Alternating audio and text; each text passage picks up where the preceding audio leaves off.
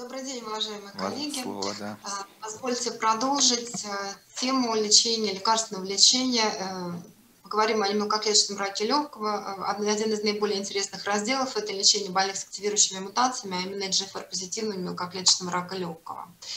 Как известно, на сегодняшний день в Российской Федерации одобрено 4 препарата для проведения монотерапии. Это препараты всем хорошо известные. Первое поколение – гефитинип и эрлатинип. Препарат второго поколения – афатинип. Последнее поколение, третье уже осимертинип. И комбинация эрлатиниба с антиангиогенным препаратом рамоцирумаб.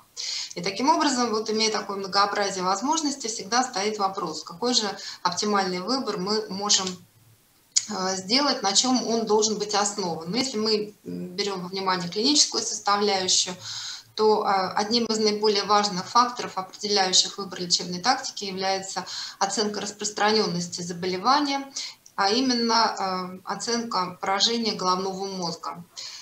И на сегодняшний день действительно это очень важный прогностический фактор.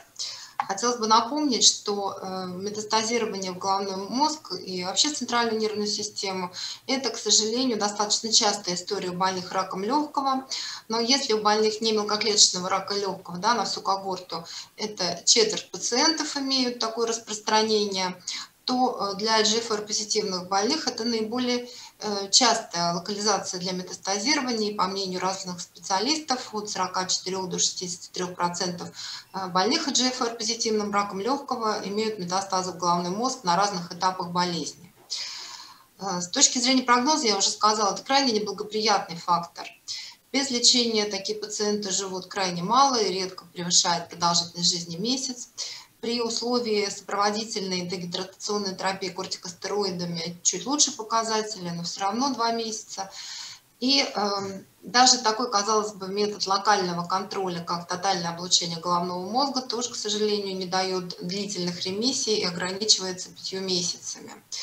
Однако для GFR-позитивных больных, которым правильно выбрана и назначена таргетная терапия, э, прогноз существенно лучше. И, э, собственно, именно э, вот э, правильная лекарственная терапия этой категории больных, она меняет прогноз и не делает его настолько мрачным. И я постараюсь, в общем на примере клинических исследований, собственного нашего опыта показать. Чувствительность и эффективность препаратов различных поколений, она существенным образом отличается. В частности, это эм, относится к интракраниальному э, воздействию. Для а, афатиниба и осимертиниба, как мы видим, характерны более высокие, более высокие показатели концентрации препаратов в спинномозговой жидкости. И, в принципе, мы тогда и вправе ожидать более высоких клинических ответов. Но вот, к сожалению, препараты первого поколения, ролатинип, гефитинип, те исследования, которые с ними проводились уже достаточно давно, они не предполагали подгруппового анализа, которые бы отдельно проводили оценку эффективности препаратов у больных с поражением головного мозга. Поэтому данные чрезвычайно разрозненные, довольствуемся больше ретроспективными данными. Но надо понимать, что эффективность этих препаратов, она, в общем-то, достаточно умеренная. Есть данные, опять же, небольших исследований, э, что добавление э, лучевой терапии улучшает время без прогрессирования пациентов, получающих гефитинип, парлатинип. Использовалась методика так называемой пульсотерапии, высокодозной таргетной терапии, в частности, эрлатинип, неба. Э, и действительно при э, несколько лучших результатах именно для интракраниального контроля, к сожалению, вот э, общего какого-то воздействия на выживаемость пациентов эта методика не имела, она, в общем-то, не получила дальнейшего распространения. А вот для препаратов второго, третьего поколения, фатиниба и симертиниба, те клинические исследования, всем хорошо известные, серия исследований Люксланг с фатинибом и исследования Адаура, Флаура с осимертинибом, они же предполагали подгрупповой анализ именно пациентов в зависимости от наличия либо отсутствия метастазов в головной мозг, проводилась стратификация по этому критерию. И, в общем-то, результаты были показаны весьма-весьма обнадеживающие. Кроме того, есть данные доклинических исследований, которые еще раз подтверждают эффективность и хорошую проницаемость этих препаратов через гематоэнцефалический барьер. Ну и помимо непосредственной эффективности, оцененной да, интракраниальной, еще одна особенность, очень, э, на мой взгляд, интересная и важная, была отмечена в, исследованиях с афатинибом и усимертинибом. Это способность препарата профилактировать, предупреждать метастазирование именно в головном мозге. И чуть попозже еще раз мы к этому вопросу вернемся. А, поскольку э, не было прямого сравнения между препаратом афатинип и Усимертиниб, как известно, исследование Флаура предполагало сравнительный анализ между усимертинибом препаратами первого поколения. Вот мне хотелось просто предоставить эм, данные э, сетевого метаанализа, которые, в общем-то, показали, что у больных с метастатическим поражением центральной нервной системы существенных различий э, во влиянии на общую выживаемость, в зависимости от того, какой препарат афтинип или усимертинип было выбран, не было показано. Чуть подробнее остановимся на механизме действия и на а, препарате афатинит. Э, вот э, представлен, собственно говоря, тот самый механизм действия, который отличает э, этот препарат от его предшественников первого поколения, а именно эм, препарат обеспечивает необратимую стойкую блокаду рецепторов, не только рецепторы эпидермального фактора роста, но и всех представителей рецепторов семейства РББ. Собственно говоря, в зависимости, ну, эм, полагаясь вот на эти данные, мы вправе ожидать более выраженных противоопухолевых ответов и того подтверждения клинической практики.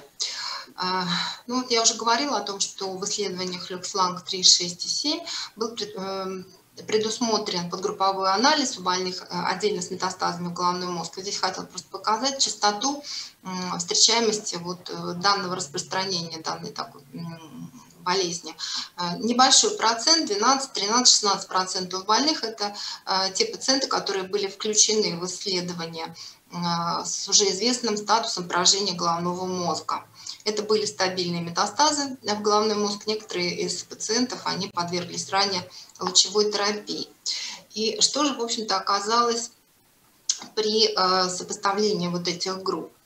А, оказалось, что афатинип, он обеспечивает достаточно хороший контроль по сравнению со стандартной химиотерапией э, и по критерию времени без прогрессирования, по общей выживаемости у пациентов с поражением головного мозга.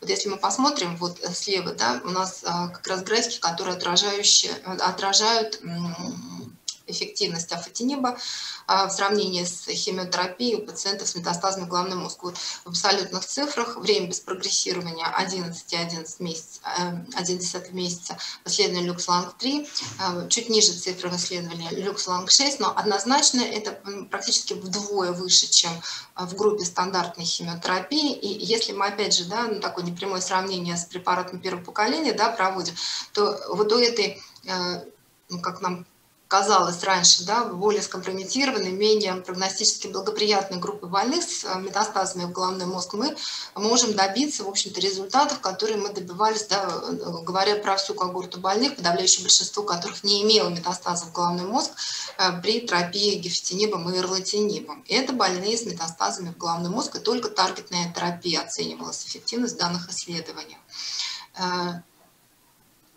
Что касается пациентов э, без поражения головного мозга метастатического, конечно, здесь ожидаем результаты лучше. И эм, если мы сравниваем вот исследование Люксланг-3, то здесь 14 месяцев медиана времени без прогрессирования против 8 в группе с химиотерапией. Э, собственно, здесь ну, та же самая да, тенденция э, к более высокому длительному контролю за болезнью именно на таргетной терапии. Ну вот еще один график, это уже объединенный анализ исследования LuxLang-3 и LuxLang-3, те пациенты, которые имели метастазы в головной мозг на момент включения в эти исследования, мы видим, что здесь э, также подтверждается да, снижение риска прогрессирования на 50% с медианной времени без прогрессирования э, около 8 месяцев. Как известно, больные с делецией в 19 экзоне, такой наиболее часто встречающийся вариант активирующих мутаций гене GFR, это прогностически более благоприятная ситуация. И вот опять же, да, ну, в данном случае тоже этот анализ демонстрирует, что больные с метастазами в головной мозг, с делецией в 19 экзоне, у них вот результаты лечения несколько лучше, на месяц мы видим медиана времени без прогрессирования оказалась выше. И вот тот интересный факт, о чем я уже говорила, это ну, профила, не знаю, как по-русски что это, профилактирование, да, отсрочка в появлении метастазов в головной мозг на фоне таргетной терапии фатинибом. А, вообще, ну, клинически, да, кто э, такой опыт подсказывает, что когда мы видим больного, у которого исходно есть поражение головного мозга, мы, в общем-то, априори, когда назначаем ему лечение, мы все время контролируем обязательно э, головной мозг достаточно часто, потому что от, именно оттуда мы ждем подвоха, даже часто бывает бессимптомное прогрессирование. А вот в случае с афатинибом по данным анализа оказалось, что совершенно обратная ситуация. Э, у пациентов на фатинибе Э, те, которые имели метастазы в головной мозг исходно, э, частота прогрессирования, которая выражалась бы в появлении новых метастазов либо увеличении имевшихся, составила 30% всего, а у больных а э, экстракраниальное прогрессирование 52%. То есть вот верхняя кривая – это частота появления прогрессирования вне головного мозга. А в группе больных, у которых исходно не было поражения головного мозга, да, здесь э, частота составила всего 6% интракраниального прогрессирования против 78% экстракраниального. Вот есть такая, получается, особенность, биологическая особенность препарата, э, действительно не дает э, Опять же, мы вспомним, если вспомним один из первых слайдов, что GFR-позитивные пациенты, у них чаще развиваются метастазы в головной мозг. И здесь мы видим такое защитное да, действие осимертиниба. И, э, собственно говоря, вот опять же тот самый сетевой анализ, метаанализ, который также подтверждает, что эм, у больных, у которых исходно не было э, поражения головного мозга, тоже влияние на общую выживаемость не было отмечено в зависимости от того, какой препарат второго или третьего поколения был назначен.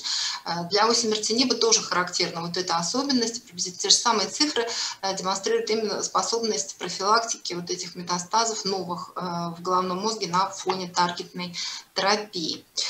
Ну вот еще, еще, один, а еще одно так, подтверждение, это опять же уже такой объединенный анализ Люксланг 3, 6 и 7. Э, здесь, если мы посмотрим, то через год приема афатиниба на отметке, да, 12 месяцев, частота прогрессирования в головном мозге составила всего 2%. А, таким образом, ну, на мой взгляд, вот э, достаточно аргументов в пользу э, выбора э, лечебных опций у больных с поражением головного мозга в сторону препаратов второго поколения, в частности, афатиниба. Я почему на этом делаю акцент, потому что у нас немножко сместились да, акценты, когда появились результаты флауры, и все э, считают, что вот это единственное показание для э, пациентов сходно с поражением головного мозга, хотя мы видим, что есть препарат, который, в общем, демонстрирует высокую интракраниальную активность. И мне хотелось бы поделиться нашим опытом.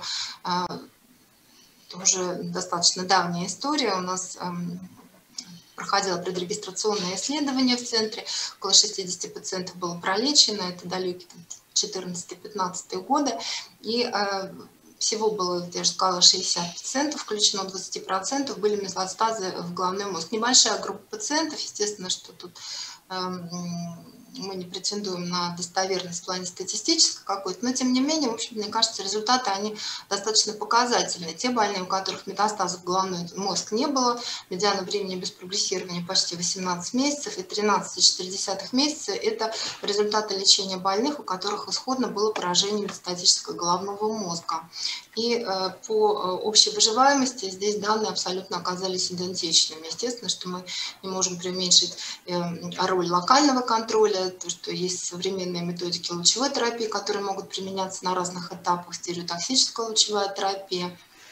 Но, тем не менее, мы видим, что на сегодняшний день прогноз больных э, с метастазами в головной мозг и GFR позитивных, он, конечно, во многом определяется правильно выбранной лечебной тактикой, и реально в наших, эм, возможно, в наших руках немножко ситуацию переломить в лучшую сторону. Ну, как мы видим, что вот наши данные, они даже немного лучше оказались, чем данные международные по времени без прогрессирования здесь э, напомню, 8,2 месяца, медиана общей выживаемости 22,4 месяца.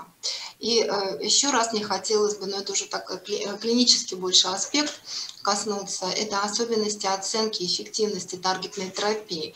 А, все э, клиницисты, которые работают с этими пациентами, знают, да, что если вот мы на химиотерапии появление новых очагов всегда расценивали как э, прогрессирование заболевания и сигнал к смене терапии, то таргетная терапия, конечно, дает нам больше возможностей для творчества, и в частности это касается больных с поражением головного мозга.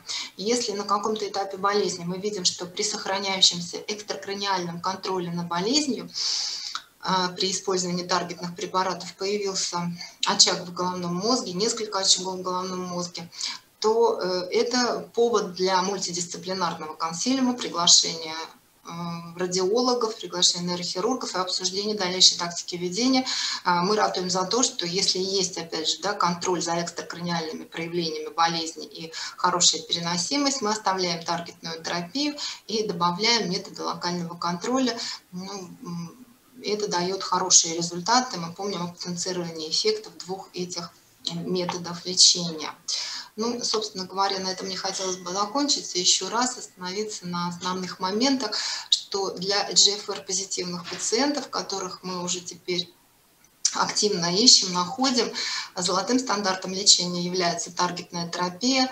Э, эффективность препаратов, она различна. Здесь мы можем сделать правильный выбор для каждого пациента, найти тот оптимальный вариант лечения, который бы ему подошел и обеспечил наилучшие отдаленные результаты, хорошую переносимость.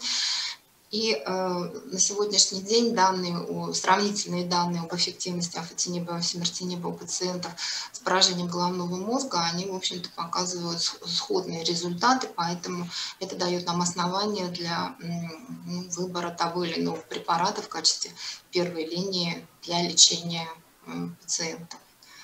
Благодарю вас за внимание.